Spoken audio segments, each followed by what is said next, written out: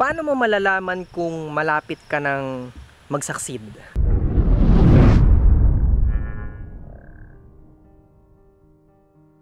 So, before I begin, gusto ko lang magbigay ng disclaimer. Okay, gusto ko lang maintindihan nyo na. Pag sinabi kong success, no, hindi ko sinasabi na yung, yung typical na success. Okay, hindi ko sinasabing yung, ano ba yung typical na success? Pag sinabi kong success, ano yung una pumapasok sa isip mo? 'Di ba? Ma- maraming pera, mayaman, may sasakyan, may sports car, 'di ba? Yun yung general term ng success. Pero hindi ba kapag halimbawa estudyante ka, college na, ah, college student ka tas nakagraduate ka, 'di ba success din 'yun? Nakagraduate ka, hindi lahat nakakagraduate. Or ikaw is ah, nanay, 'di ba? Nung nagbuntis ka, nanganak ka, nailabas yung anak mo na safe and sound, healthy, 'di ba success din 'yon? O kung ikaw ay isang ano na lang, network marketer, 'di ba? Network marketer. Tapos first time mo sa business, tapos unang beses kang kumita, ano yung pakiramdam? Yung pinakang unang commission mo or yung pinakang unang sales mo, 'di ba? Pinakaunang benta mo ng product, pinakaunang cheque mo, pinakaunang commission mo, ano yung pakiramdam? 'Di ba success din 'yon? So pag sinabi kong success, hindi ibig sabihin niya yung yung general term na kagad, mayaman ka na, ganyan ganyan, okay? So yun lang yung disclaimer ko para at least maintindihan niyo yung sinasabi ko, yung context. So paano mo ba malalaman yung sign? Ano yung mga signs na ah, malapit ka na mag succeed. So, by succeed, ibig ko sabihin next level. Not necessarily mean yayaman ka na kagad. Hindi, hindi ganun. Anong level ka pa man sa network marketing? Bago ka, luma ka, doesn't matter. So, ano yung mga signs? So, number one, usually, ang level one na sign sa mga nagsisimula na papunta ka sa next level, kapag nalampasan mo, ay kapag ang dami mong rejection na natatanggap. So, yun yung number one. Ang dami mong rejection na natatanggap, tapos yung mga rejection na natatanggap mo, ang sakit 'di ba? Masasakit na rejection from family, from friends, from uh, close friends, relatives. Tapos asawa mo pa, 'di ba? Asawa mo, girlfriend mo, boyfriend mo, 'di ba? Nanggagaling sa anak mo. Ang sakit pag nanggaling sa kanila yung rejection. Yun yung unang sign na papunta ka sa next level kapag nalampasan mo. So anong ibig ko sabihin? Kapag nalampasan mo, tumuloy ka pa din kahit nasaktan ka sa mga rejection, nagpatuloy ka pa din, nag-explore ka pa din, nag-aral ka pa din, nag-training ka pa din, continuous ka sa prospecting, patuloy mo pa rin share yung business mo tsaka yung product mo, sign. Papunta ka na next level. No, Mala- palapit ka ng palapit. The more na nag-next level ka na nag-next level, papalapit ka ng papalapit sa success. Yun yung palagi mong tatandaan. Yung success mo, yung ibig sabihin mo ng success, hindi tayo pare-pares ng ibig sabihin ng success eh. Next, ikalawa na level ng, uh, or ikalawa ng sign, pag nandun ka na, nakapunta ka na sa next level, is maraming tao naman yung pipigil sa'yo. Di ba? Maraming tao yung pipigil sa'yo. Tumuloy ka pa din, di ba? Na-reject ka, ang dami, nag-fail ka, nagkamali ka, natuto ka, tumuloy ka pa din. Tapos, tumatagal ka na sa business, kumikita ka or hindi, maliit yung kinikita mo, pero hindi pa rin yung malapit dun sa mai-impress yung iba, no? So, hindi pa malapit sa goal mo, malayo pa. Pipigilan ka nila. Wag- Bibigyan ka nila ng mga logical reason para tumigil ka. Marami na akong kilalang ganyan na hindi naman yumaman, yung mga nasa taas lang yung mayaman dyan, itigil mo na yan, mag, magtaho ka na lang. hindi naman siguro ganyan yung sasabihin nila. Pero ganon, parang ganon. No? Ah, wag mo na ipagpatuloy yung ganyan, magtrabaho ka na lang. Tumigil ka na sa mga ganyan mo. 'Di ba? Hindi ka naman yayaman sa ganyan, pinapaasa ka lang yan, niloloko ka lang yan mga yan, 'di ba? Eh alam mo naman sa sarili mo na legit yung business mo. Maganda yung company, maganda yung products, maganda yung team mo, yung culture nyo, yung system nyo. Meron kayong 5Ms, 'di ba? Kumpleto ka ng 5Ms. Alam mo naman 'yun. 'Di ba? Pero pinipigilan ka nila. Binibigyan ka nila ng mga logical reason. Pyramiding yung mga ganyan, huwag ka maniwala sa mga ganyan. Yun yung ikalawang sign na papunta ka ulit sa next level. Kasi nagpapatuloy ka eh. Ngayon, itong mga tao na to na pumipigil sa'yo, hindi sa hindi ka nila mahal or especially pag family and friends, di ba? Masakit yun. Hindi, mahal ka nila. Kaya kanila pinipigilan. Kasi para sa kanila, ang definition ng pagmamahal, ayaw kanilang masaktan. Ayaw kanilang mag-fail. Ayaw kanilang magkamali, especially mga magulang, di ba? Mali po yun. okay, maling-mali yun. Bakit? The more na nag-fail ka, the more na nagkakamali ka, natututo ka. So, ibig sabihin, ayaw kanilang matuto. Ayaw kanilang mag-exceed. Ayaw kanila na ah, mag-next level. Kasi ayaw kanilang magkamali. Hindi kasi nila naiintindihan. So, ang nagiging pagkakamali ng mga networkers, nakikinig sila sa mga ganun tao kasi family nga naman, di ba? Huwag kang makinig based on your relationship lang dun sa tao. Makinig ka dun sa tao based sa experience niya based sa success na meron siya, based sa results na meron siya, based sa principles na meron siya. Kasi papa, sabi ko nga, 'di ba? Alam niyo naman na to kahit hindi hindi niyo sa akin narinig na paano mo magagawang maging engineer nakikinig ka sa doktor? Magiging doktor ka nun. Di ba? Nagpapaturo ka sa doktor, nakikinig ka sa doktor, advice ng doktor yung sinusunod mo, inaaral mo yung inaaral ng doktor. Doktor ang kalalabasan mo nun kahit na engineer yung gusto mo. So para ka maging engineer, magpaturo ka sa engineer. So same sa atin, no? Same rin sa buhay natin na yes, mahal natin sila, yes, nire-respeto natin sila, pero hindi ibig sabihin maniniwala, susunod at makikinig na tayo sa kanila. Kung ako nakinig sa mama ko, mahal na mahal ko yung nanay ko. Kung ako nakinig sa kanya, ewan ko, baka OFW ako ngayon. Or nagtatrabaho ako kung saan. Hindi ko alam. Wala akong malinaw na future. Kasi pinatitigil na niya ako dito. Matagal na pinatitigil. Kasi ang tagal ko na rin eh. Taon na rin ako tapos wala pa talagang magandang breakthrough. So siya, concerned siya. Hindi ko naintindihan nung time na yon pero concerned siya sa akin na walang nangyayari kasi siya, ilang beses rin siya nag-fail sa network marketing. Uh, ayaw niya ako masaktan. Ayaw niya ako mag-fail. Ayaw niya ako magkamali. Buti na lang na buti na lang di ako nakinig. okay? Kung nanonood yung mama ko, kung nanonood ka mama, mahal na mahal kita, no? Buti na lang pinigilan mo ako. so, hindi ako nakinig. Mahal ko yung nanay ko, pero hindi ako nakinig at sumunod. Naging nagsumuway ako. Pero kung hindi ako sumuway, anong klaseng buhay kaya meron ako ngayon? Hindi ko na e-enjoy kung ano yung meron ako ngayon. Hindi ko hindi ako nakakatulong sa ibang tao. Hindi ako nakakapagbigay ng positive na influence. Walang ganito, walang YouTube, walang walang walang mai-inspire, walang matutulungan, walang mabubuhay ng pangarap, wala. Hindi lang ako yung naapektuhan, ang daming tao hindi naapektuhan ganun ka din. Palagi mo yung tatandaan, kung magpapaapekto ka ngayon sa kung ano yung sinasabi ng mga tao sa paligid mo, especially family, friends mo, gaano karaming tao yung hindi mo matutulungan. Hindi natin alam, pero sigurado ako marami.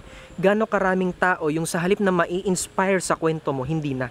Kasi nagpadala ka sa sinasabi nila. Ang daming ganon. Sabi nga eh, saan yung pinakang mayaman na lugar sa buong mundo? Comment nyo dyan kung alam nyo. so, saan yung pinakamayaman na lugar sa buong mundo?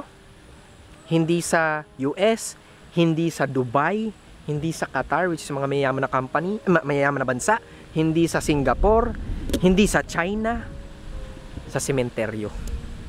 Bakit? Napakaraming pangarap ang namatay. Dala-dala nila. Nandun sa sementeryo. Ang dami sanang natulungan, ang dami sanang uh, mga legend sa basketball, ang dami sanang magagandang businesses na naitayo, products na nagawa. Ma- meron sana siguro mga naging cure sa cancer, hindi nila ginawa eh. Nagpadala sila or kung ano man yung uh, sitwasyon na na-experience nila, nagpadala sila doon, pumigil sila. So another sign na papunta ka sa next level, papalapit ng papalapit ka sa success kapag pinipigilan ka ng mga tao. Another sign. Next, And eh, siguro ito na yung last na sabihin ko. Ah, actually marami pa, pero ito na yung last na sabihin ko. Kapag ang dami mong problema sunod-sunod, yung problema mo, na yung yung tipo na mapapasabi ka na lang, ano ba yan? Hindi pa tapos yung problema ko, meron na naman bago. 'Di ba? Kapag ganun yun na na-experience mo, sunod-sunod na problema, yung hindi mo malaman, bakit ganun? Di ba parang sinumpa ba? May sumpa ba? Di ba? sinumpa ba ako? Ba't ganito nangyayari sa akin? Daming problema sunod-sunod. Nagkautang-utang, nawala, nanakawan, nasunugan, binagyo, 'di ba? Hiniwalayan ng asawa o ng jowa o na nagkaroon ng problem sa relationship sa family, nagalit yung magulang, pinalayas, sunod-sunod. Yung to the point na ang ginagawa talaga ng mundo is pinasusuko ka. Alam mo yung alam mo nung na-realize ko to, sobrang liberating. Ibig ko sabihin, ang sarap sa pakiramdam. No? Katulad ngayon, nandito sa lugar na to, ang sarap sa pakiramdam. Di ba? So yan, kung makikita niyo ang ganda dito. Sa Graceland, Tayabas to. No? Nung na-realize ko yun, sabi ko, buti na lang. Alam mo yun, sabi nga eh, sabi nga ng mentor ko, isa sa mga mentors ko, lahat ng nangyayari sa'yo tama, hindi mo palang alam sa ngayon. Kahit sa tingin mo mali yung nangyayari sa'yo, pangit, hindi. Tama yan. Tama yan. Dadating ka sa time. Kasi ito na lang ha, para paano ko patutunayan sa inyo. Di ba may problems ka ngayon, kung ano man yan. Balikan mo lahat na naging problems mo before. Before, before yan. Um, al- alisin mo muna yan sa'yo. Kunwari wala kang problema na ganyan yun para hindi hindi ka hindi ka apektado emotionally. So, halimbawa, meron kang problem na ano na lahat ng problems na na-experience mo before, balikan mo lahat ng ngayon. Kung hindi nangyari sa yon, yung mga problems na nalampasan mo before, much better ka kaya na tao. Isipin mo na maigi. Mas matalino ka kaya ngayon? Mas wais ka kaya ngayon? Mas may experience ka kaya ngayon kung hindi nangyari yung mga yun? At ano yung isi-share mo sa ibang tao na makaka-experience din ng same na problem? Meron ka ba may share Hindi naman nangyari sa'yo. Wala, di ba?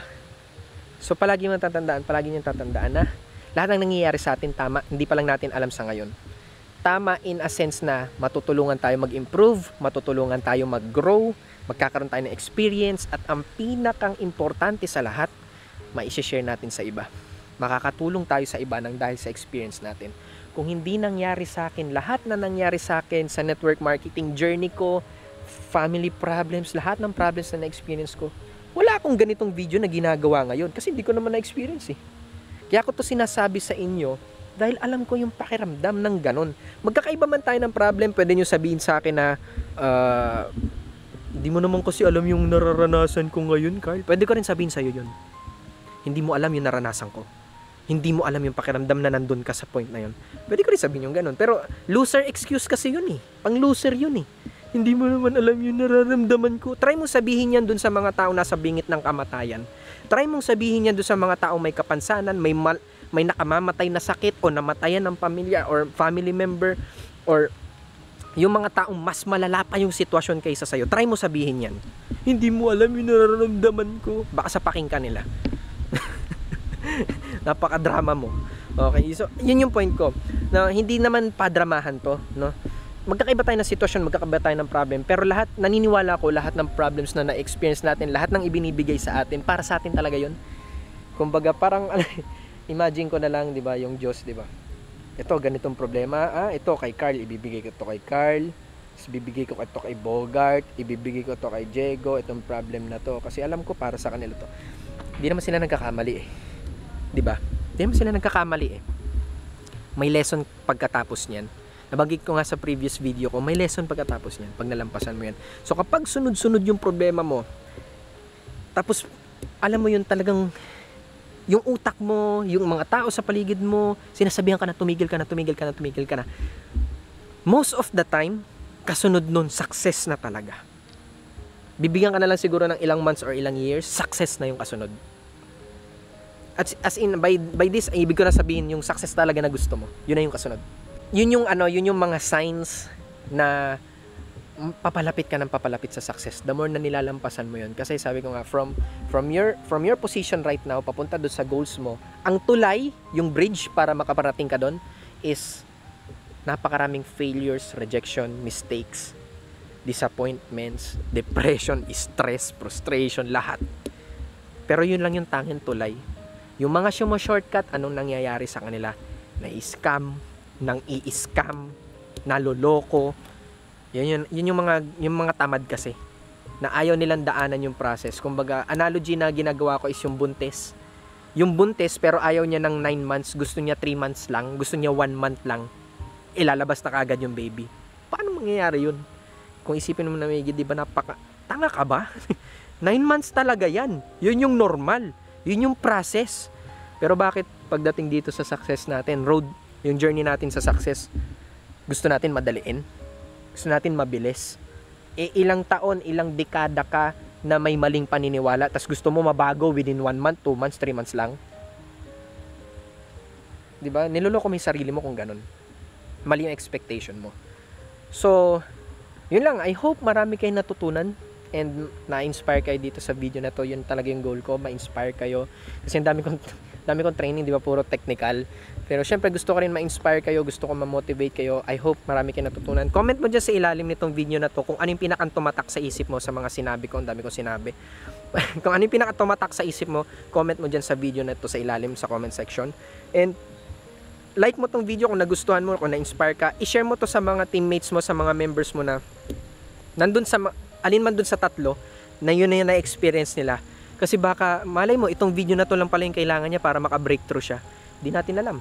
'Di ba? So, yun lang and uh, kung sakasakali man na meron kayong mga gustong itanong, comment nyo lang dyan sa ilalim. Kung gusto nyo gawan ko rin ng video yung tanong, lagyan nyo ng hashtag itanong mo kay Serrano. I hope na-inspire ka dito sa video na to. Once again, this is Carl Serrano. Live, love, and learn. You are born for greatness. So, see you next time.